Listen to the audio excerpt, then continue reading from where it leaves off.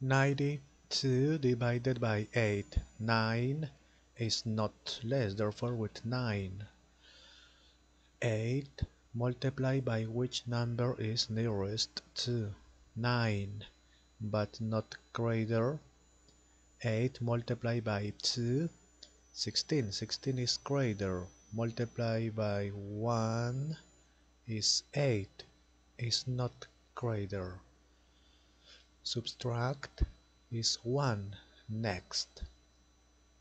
12 8 multiplied by 2 is 16 is greater. Multiplied by 1 is 8 subtract 4 next.